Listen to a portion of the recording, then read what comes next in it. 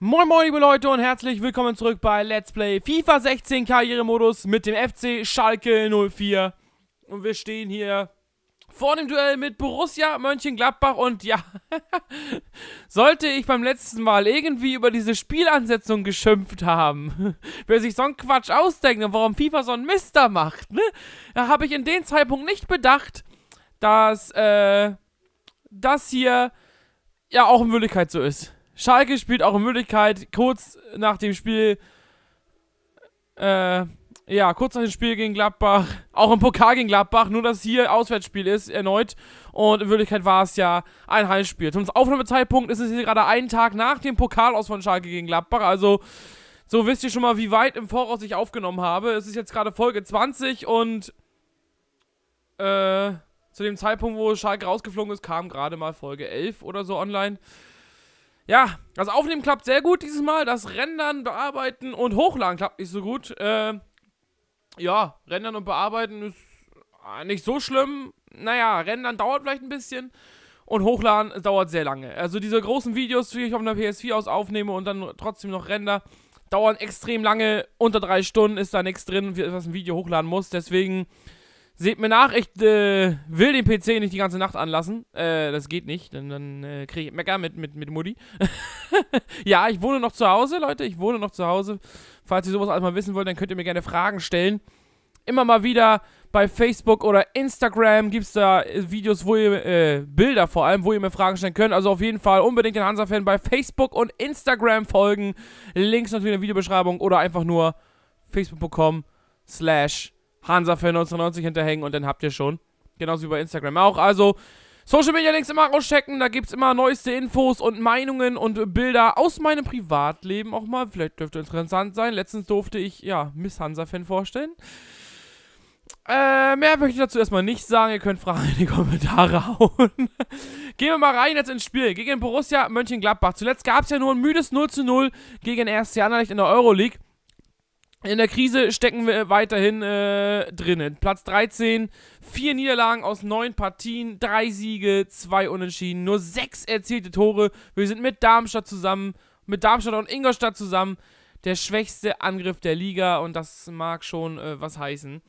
Von daher, ja, alle sechs Tore hat Klaas Hünteler erzielt. Auch das muss gesagt werden. Von daher, mh, mal schauen, wie wir hineingehen. Ich bin jetzt gerade, ich habe es eine Weile nicht aufgenommen eine Woche nicht. Jetzt bin ich jetzt nicht, deswegen bin ich mir nicht mehr ganz bewusst, äh, wie wir zuletzt gespielt haben. So. Bei Weltklasse bleiben wir aber noch. Ich möchte mich da durchbeißen. So, ähm, Goretzka Geis hat ja ein böses Foul durchgezogen dagegen André Hahn.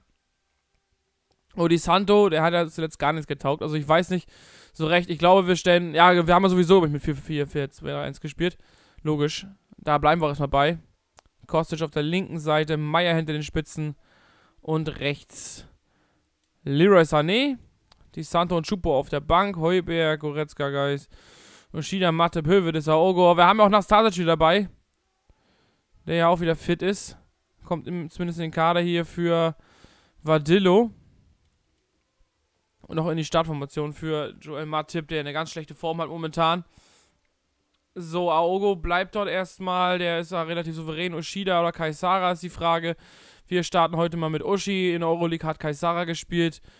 So, Sporning haben wir auch noch dabei. Dann haben wir Enriquez. Den, wir, den müssten wir auch mal wieder mitnehmen. Für wen nehmen wir den denn mit heute? Für Kaisara. Ah, Höger außen vor lassen will ich auch nicht unbedingt, weil Höger ist doch so ein Allrounder da. Heuberg eventuell eine Pause geben, der ist auch schlecht in Form.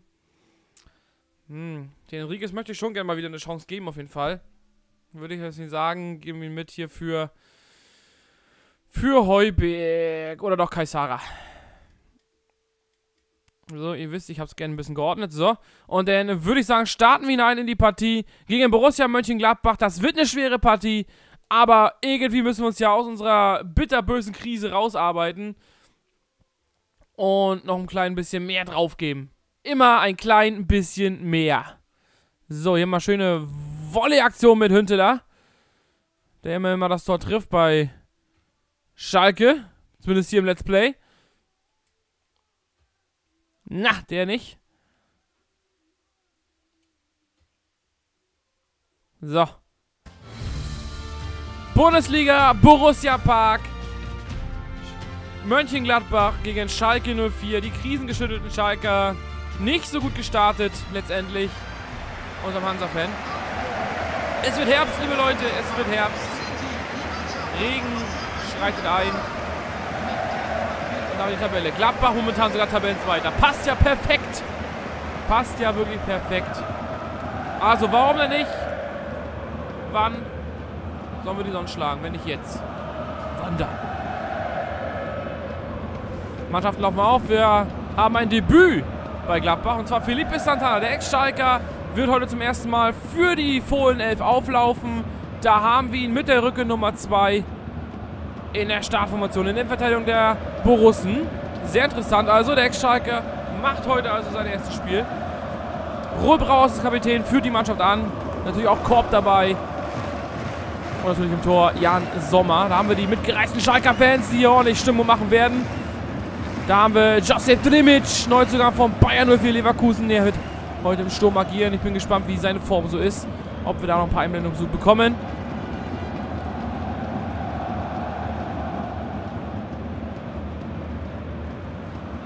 Da haben wir auf jeden Fall den Schalker Kapitän Benedikt Hövedes, der doch für Stabilität sagen, sorgen soll. Mattia Nastasic ist zurück an seiner Seite. Da haben wir ihn. Felipe Santana, 29 Jahre jung, Brasilianer. Rückkehr Nummer 2 bei Borussia Mönchengladbach.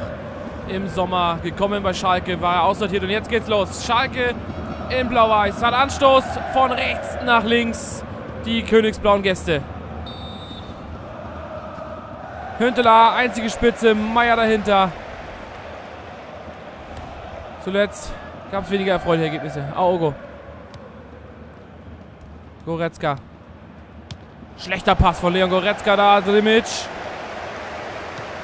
Gleich wieder mal der schnelle Ballverlust der Schalker. Hahn. Nimmt Korb mit. André Hahn. Aogo dazwischen. Klärt immerhin zum Einwurf.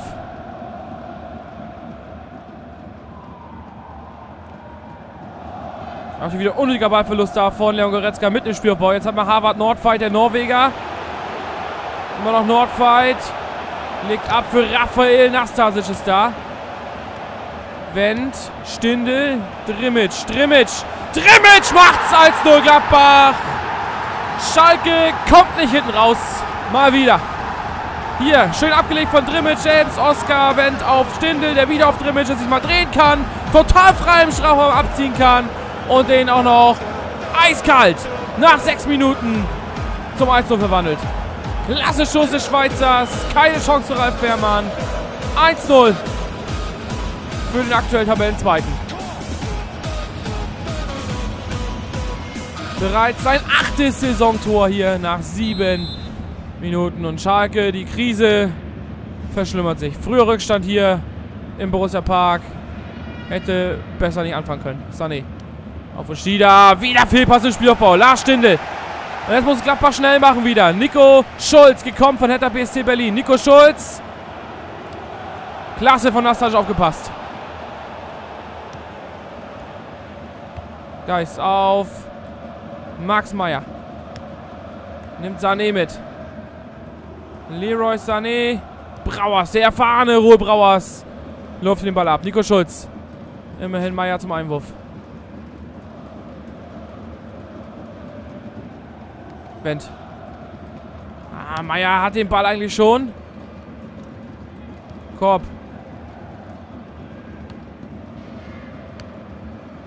Meyer. Gut aufgepasst. Uschida. Sané. Fehlpass. Sané. Es geht weiter bei Schalke. Spielaufbau 0.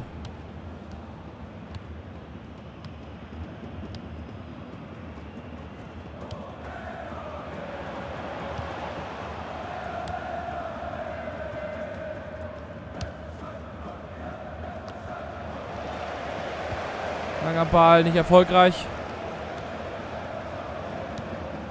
Goretzka mit der Grätsche.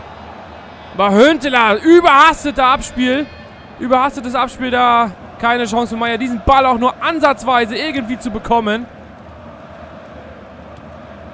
Seitenwechsel da von Gladbach. Nordweit. Wendt.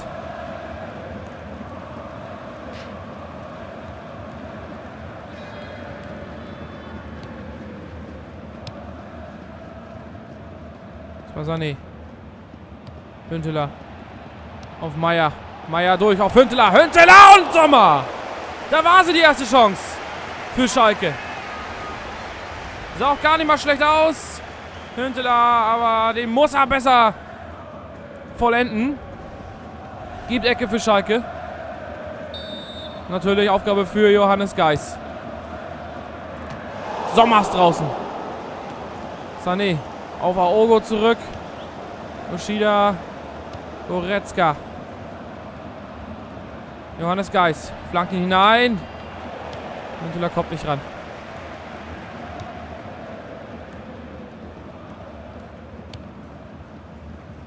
Santana. Wieder verlagert die Seite. Sané viel zu weit in der Mitte. Schulz. Brauers legt den Ball zu weit vor. Hünteler holt sich den Ball. Geist auf Goretzka. Goretzka wieder. Muss doch der Ball kommen. Darf doch nicht wahr sein. Leon Goretzka. Ganz, ganz schwaches Abspiel da. Entweder muss er selber raufziehen oder der Ball muss kommen. Vernünftig. Selber abschließen war schwer. Die Option zum Spielen war schon richtig. Aber der muss natürlich viel, viel besser kommen. Genau in die Beine dargetreten. Klasse, den Ball erobert dazu vor von Hünteler.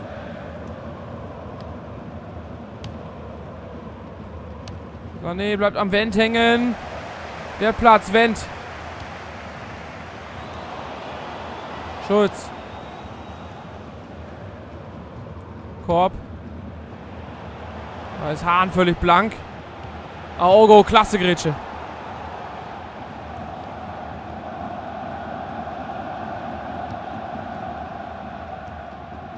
Santana gegen Aogo, Brauers.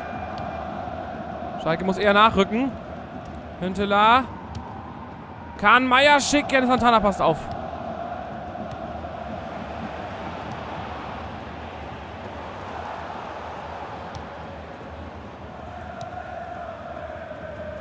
Hünteler.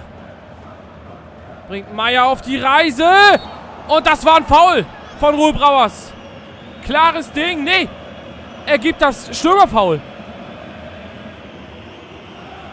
Nein, nein, es geht rot für Ruhlbrauers. Entschuldigung. Habe ich mich verguckt. Ruhlbrauers sieht die rote Karte wegen Notbremse. Grätsche von hinten. Das kommt es doch. Ja, war die erste Vermutung doch richtig. Ich weiß nicht, habe da Meyers Reaktion viel interpretiert. Sommer hat den Ball. Schomeyer hat ihn nicht mehr Lauf bekommen. Deswegen war die Grätsche von Brauers sehr, sehr fragwürdig.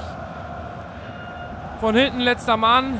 Und gleich der Wechsel. Drimmitsch raus, der Torschütze geht. Toni Janschke kommt. Gleich taktische Veränderung von André Schubert an der Seitenlinie bei Gladbach. Und Freistoß für Schalke. Johannes Geis. Ah, geht knapp drüber. Schalke jetzt aber eine ganze Halbzeit in Überzahl. Vielleicht können sie das besser ausspielen. Der Freischuss von Geis, ein Tick zu hoch angesetzt. Ist auch nicht ganz mit sich zufrieden da. Mal sehen, ob Schalke das noch weiter ausnutzen kann. Sommer mit dem Abschluss. Wendt. Schulz. Sané muss besser kommen, da die Eroberung. Beziehungsweise muss da besser seinen Körper vorstellen. Da schon mal Pause.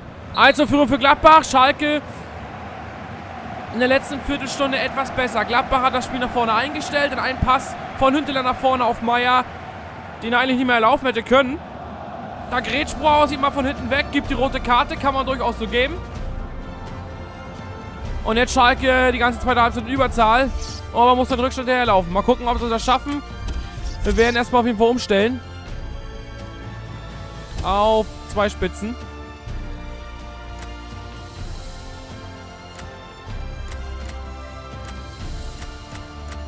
Na, wo ist das System? Hier. So. Meier wird dann rechts spielen. Links natürlich bleibt es bei Kostic. Und vorne kommt Enriquez. mit dazu. Neue zweite Spitze, also drin neben Hünteler, Angelos, nee, Angelo, Enriquez. Hinein, junger Stürmer, Leihgabe. Mit einer hohen Kaufoption geholt worden, aber ja, das war ja das Missgeschick mit Platte. Sicherlich hätte ich Platte auch einfach so zurückholen können, aber naja. So, Hünteler hat gelb gesehen, warum auch immer. Jetzt Angelo, gleich mal mit der Balleroberung. Angelo, und da gibt es die nächste Foul von Toni Janschke. Auch das muss gelb geben mindestens. Da wäre Angelo durch gewesen. Es gibt die gelbe für Toni Janschke. Kam ja gerade erst rein. Erster Zweikampf, gleich mal gelb. 47. Warum Hünteler jetzt gelb gesehen hat, noch in der 45. weiß ich nicht. Was da los war. Oh, was nicht, was die Gladbacher dazu diskutieren. Hier Angelo legt den Ball da vorbei und dann kommt die Grätsche klar. Von Toni Janschke gibt die nächste Freischusszituation für Johannes Geis oder auch nicht. Ne, lass mal Philipp Kostic jetzt ran. Ah, knapp drüber. Wie auch von Johannes Geist vorhin. Kostic hat sich mal versucht, war eine Position für Linksfuß auch.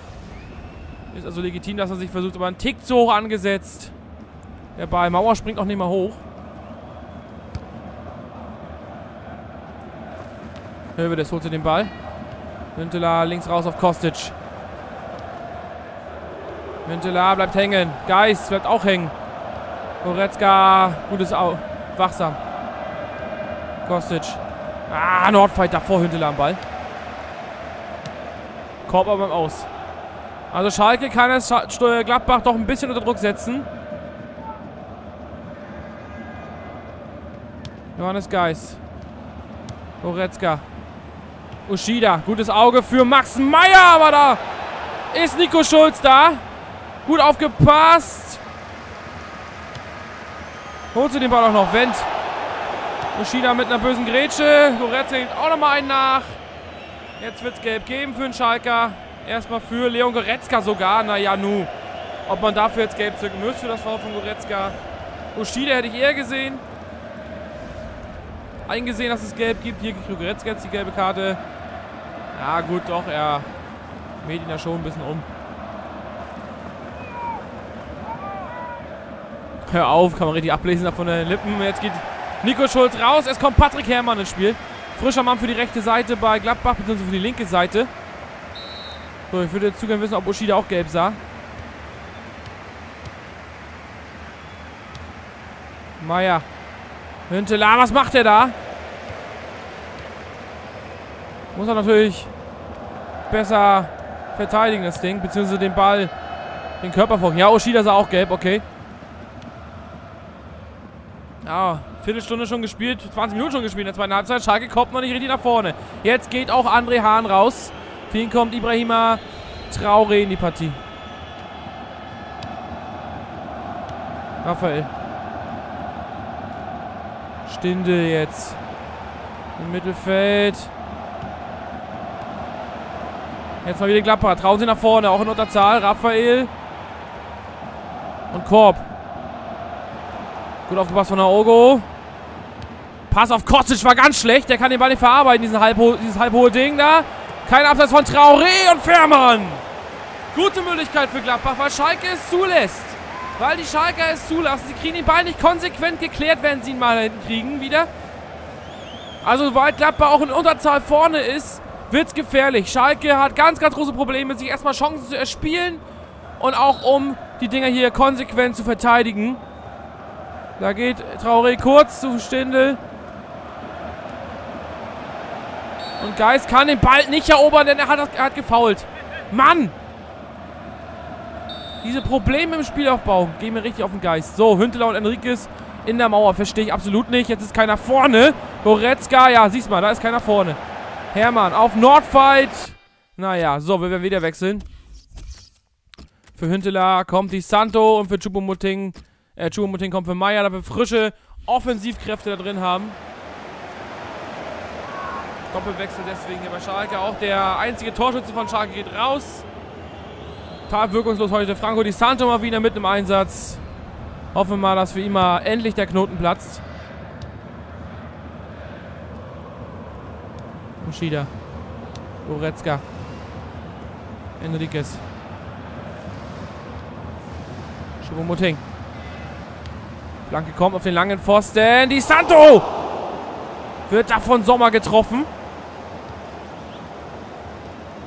Gladbach will gar nicht schnell nach vorn spielen. Hermann.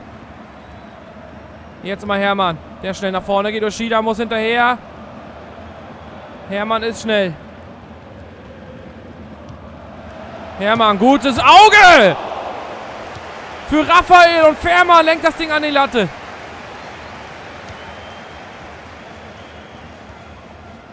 Goretzka. Verlagert nach Kostic. Der auf Di Santo. Und Kostic in die Arme von Sommer. Kann nicht wahr sein. Der muss rein. Schalke wird jetzt erst wach.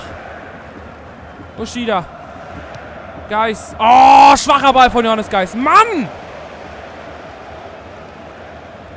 Wendt gegen Choupo-Moting. Wendt setzt sich durch.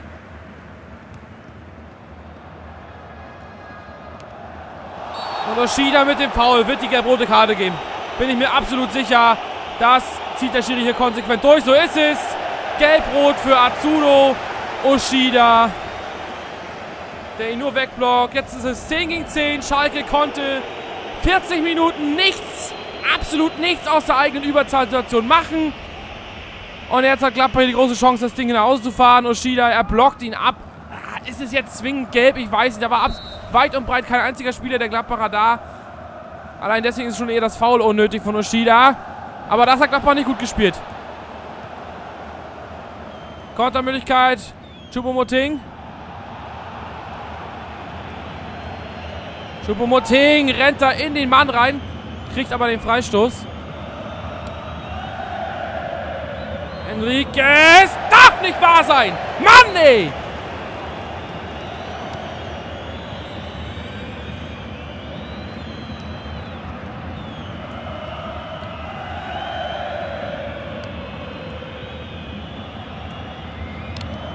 Flanke von Geist kommt nicht rein. So kann man keine Tore schießen. Schalke absolut ungefährlich im Spiel nach vorn.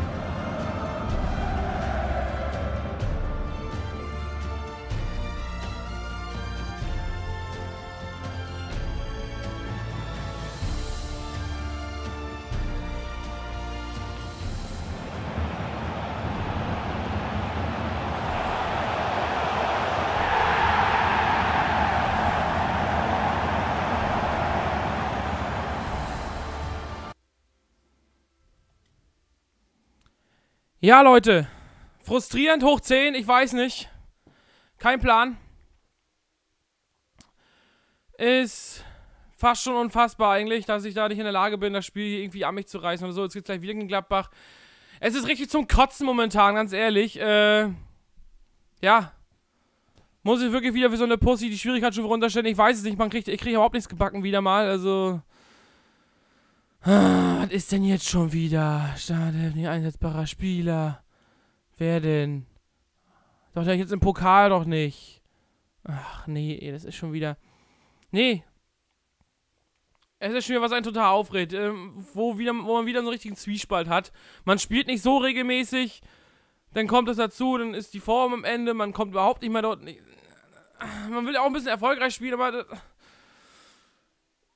Ah, ich kann mir jetzt auch sonst wieder wieder im Kopf und Kragen reden. Es klappt einfach eh nix. Ah. Ja, wie es aussieht, werde ich es einfach tun müssen. Um das Ganze wieder, um den Ganzen wieder ein bisschen mehr entgegenzuwirken, dass wir wieder unten rauskommen. Aber ich habe die Befürchtung, dass man jetzt eine Stufe runterstellt und schon gewinnt man wieder 3-0 auf Profi. Das, das wäre total bescheuert und langweilig. Irgendwie. Aber natürlich sind solche Auferstehungen immer möglich und so. Ich kann jetzt auch nicht auf eure Kommentare warten. Ihr wisst, wie weit ich im Vorsprung, wie weit ich im Voraus aufgenommen habe. Und daher muss ich das Ganze wirklich sehr, sehr eigenständig entscheiden.